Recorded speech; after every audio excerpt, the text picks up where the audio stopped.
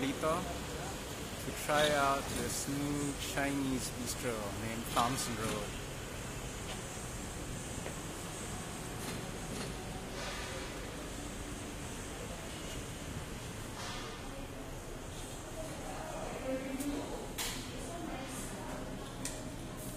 Nice old style.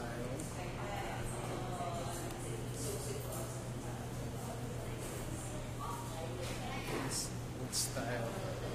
And here is the owner of Thomson Road, Johanne. Say hello, Johanne.